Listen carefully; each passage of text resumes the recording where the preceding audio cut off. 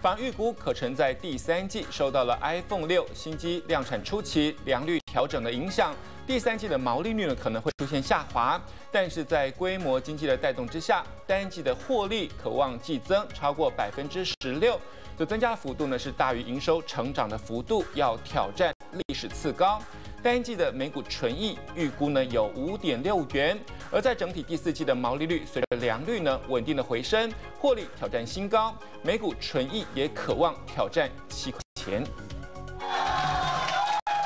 iPhone 六全球狂卖，可成九月合并营收来到四十八点八亿，创历史次高。第三季合并营收一百四十五点二亿，季增百分之九点一，创了单季新高。每股纯益预估达五点六五元。第三季首度交货 iPhone 六机壳，量产初期受到良率调整的影响，预估毛利率可能下滑。但随着良率逐渐提升，进入大量生产阶段，反而乐观预估本季毛利率将回升到百分之四十五的水准。单每股纯益挑战七元，创新高。目前我们手上看得到的，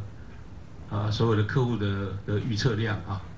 那今年我们还是非常非常乐观。是聚焦上季财报之余，也关注智慧手机订单展望，明年资本支出是否会超越今年的一百九十三亿，以及日元贬值汇兑收益等。若是有相关收益，更能美化财报炒热法说行情。而另一家金属机壳厂 F 凯盛法说会将在周五接棒登场，第三季合并营收八十五点一亿，季增百分之二十三。反而聚焦明年订单展望、新客户开拓进度以及穿戴产品的布局，指出凯盛这一季将开始准备出货 iPad mini 三的机壳，加上工艺苹果新款十二寸 MacBook 机壳供货比重增加，预估本季营收将季增三成，展现旺季水准。半年会会会蛮蛮蛮热络的，就是了。